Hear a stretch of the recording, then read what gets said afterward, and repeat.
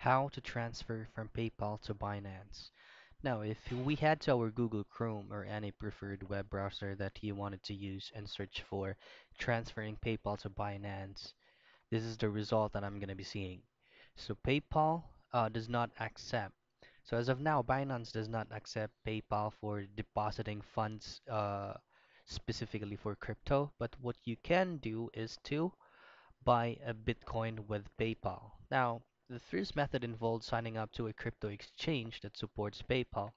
And then once you have registered the account, you can go ahead and buy the Bitcoin, transfer it to where you want it. So these are the examples that you can use. It's either a CEX.IO, Coinbase, a Paxful, a Bitstamp, LocalBitcoins, a LocalCoinSwap. So uh, other thing that you can also do is to go ahead and log into your PayPal account and then there are only selected countries or regions that has this feature.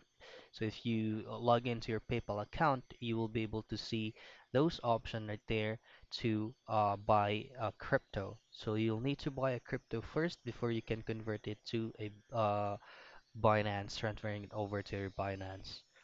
So those are the only things that you can do to transfer your PayPal to Binance.